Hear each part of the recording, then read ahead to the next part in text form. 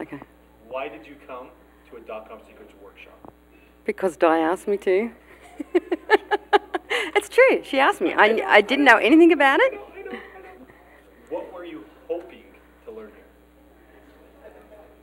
here? How to run an internet business and how to make money out of it. Okay. What did you learn? What did I learn? Oh, heaps more than that. I learnt, um, oh, so much. So much. Today was brilliant. Today was great. All the things that I thought of how to run an internet business was not what I thought. So I've come here and it's been brilliant. It has. It's been good. What are you going to do different with your business now? I'm going to make money out of it. I am. I'm going to make the money. I am. I'm going to make the money so Di can go and do what she has to do naturally. I'm going to make the money. Perfect. Perfect. If someone was thinking coming to one of these, what would you tell them?